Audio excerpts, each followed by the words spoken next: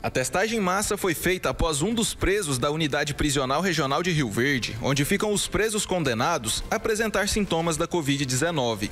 Inclusive, esse preso precisou ser internado no Hospital de Campanha de Rio Verde, devido ele ter uma comorbidade. Todos os 331 presos da unidade foram submetidos aos testes de Covid. Os resultados apontaram 57 contaminados.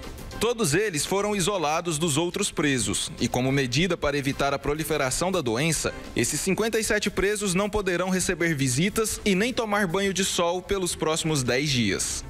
Vale ressaltar ainda que todos eles já foram e estão sendo medicados com os mesmos remédios para a Covid-19 que são disponibilizados nos hospitais da cidade. Inclusive, caso algum deles apresente sintomas mais graves da doença, também será levado e internado no HCamp. Agora que todos os presos da unidade foram testados, será a vez dos policiais penais que fazem a segurança do presídio passarem pelo procedimento.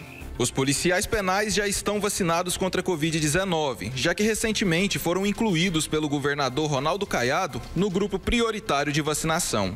Quanto aos presos da casa de prisão provisória, que fica em frente à unidade prisional regional, não foram submetidos aos testes porque não existe suspeita de contaminados por lá.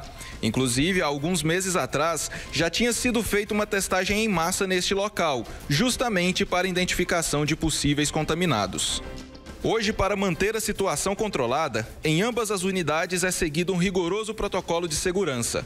Todos os novos presos que chegam às unidades são colocados em isolamento por 14 dias, para somente depois se juntar aos demais presos.